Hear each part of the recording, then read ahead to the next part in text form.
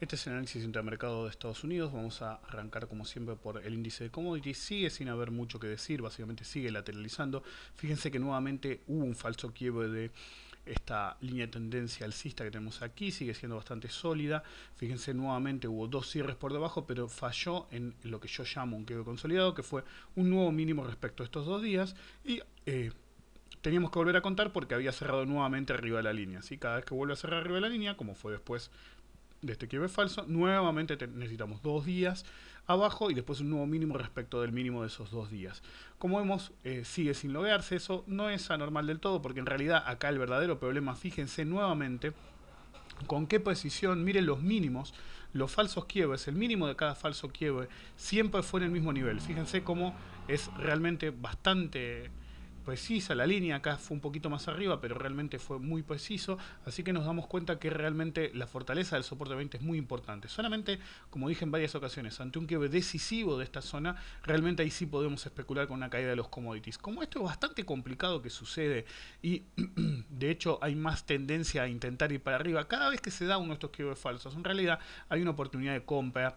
Eh, en el mercado de commodities en general. Fíjense cómo este falso quiebre da lugar a esta fuerte valorización hacia la zona de 21. Si tenemos una señal de compra confirmada, pero tenemos que tener cuidado con esa señal de compra porque fíjense, este indicador que ven acá es básicamente el indicador que filtra la fortaleza de las señales, no la señal en sí, sino la fortaleza de las señales. Y fíjense la multiplicidad de líneas. Deberíamos tener algo así más concreto para eh, asumir que la señal es buena. Fíjense que realmente hace más de un mes que la, multiplicidad de líneas es eh, obvia y por esa razón tenemos que tener cuidado con las señales y ignorarlas y centrarnos en lo que decía, eh, lo que vengo diciendo hace bastante, el índice como es un quiebre de 22 al alza para definir hacia arriba o un quiebre del soporte de 20. Mientras tanto, el que se anima puede tratar de operar el rango hasta que haya un quiebre decisivo. Conozco gente que lo ha hecho y le está yendo bastante bien operando el rango en el último mes y medio.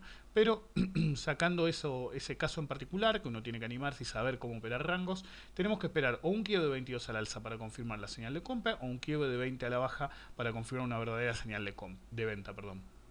Y tenemos una resistencia make or break en la zona de 22.15 eh, perdón, de 20, sí, digo bien, de 22.08 en realidad, acá el núcleo está en 22.08 y esta resistencia sería la resistencia a vencer para estar convencidos si se da un quiebre de 22. Mientras eso no se dé, el mercado de commodities hay que operarlo puntualmente en base a cada uno de sus componentes y no en una forma agregada.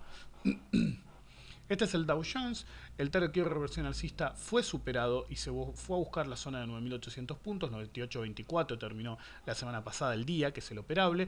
Como había mencionado, el filtro de fortaleza de las señales apunta que por ahora hay que, no hay que tomar operaciones a la baja y básicamente hace más de dos meses, desde la señal de compra que estuvo cuando se quebró 86, el, la señal, el filtro de señal en sí sigue alcista netamente, la señal de compra eh, está confirmada y activa, pero deberíamos ver si logra quebrarse esta zona para ir a buscar, que en realidad estamos muy cerca, eh, los 10.000 puntos que habíamos planteado en su momento. Es decir, eh, para mí se va a alcanzar ese objetivo, hasta podría en determinado momento llegar a incluso superarse ese objetivo, porque realmente si bien no se justifican los precios que tenemos ahora, el mercado sigue bastante caliente y sigue habiendo presión al alza. Si bien el volumen no es todo lo mejor, bueno, ¿qué se le va a hacer? No todo es...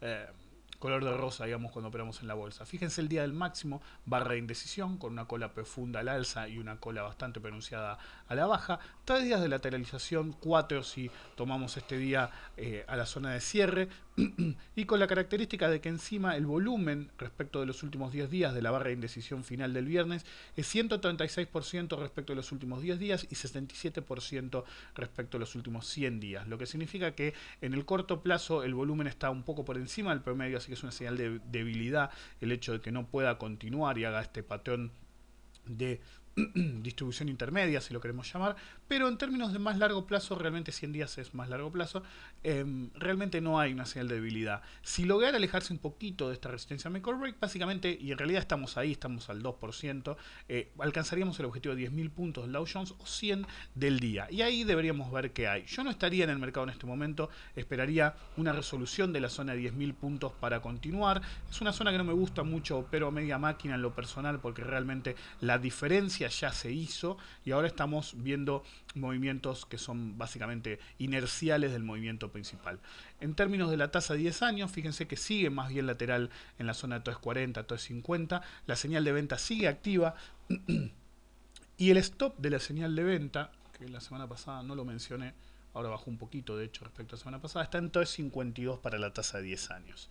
Es decir, este es el stop eh, del sistema de trading, seguimos en venta y como vemos hubo una mague de intentar dar una señal de compra pero todavía no se dio y de hecho eh, apunta que este es el filtro de señal en sí y la volatilidad por un momento si se hubiera dado una señal de compra en esta zona de aquí hubiera sido buena pero como ven no se dio.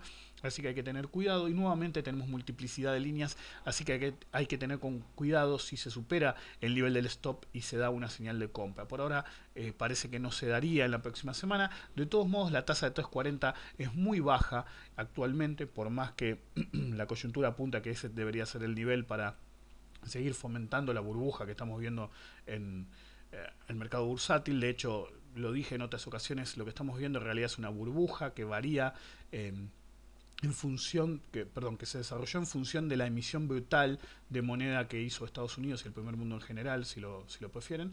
Eh, así que hay que tener cuidado con las señales de compra, pero de todos modos eventualmente la tasa debería resolver al alza porque está muy baja, es decir, deberíamos resolver en una corrección del mercado de bonos americano eventualmente. Así que mucho cuidado, el Dow Jones está llegando a nuestro objetivo de mayor plazo, el que habíamos planteado en octubre del año pasado, a largo plazo habíamos planteado el objetivo de 10.000, mm, al final se dio en a mediano plazo, no a largo plazo, pero bueno, el hecho es el mismo, estamos muy cerca de 10.000 y tenemos que tener cuidado en esta zona, incluso podría vulnerarse un poquito, pero hay que tener precaución porque ya no se justifican estos precios por más que haya algunas señales de recuperación.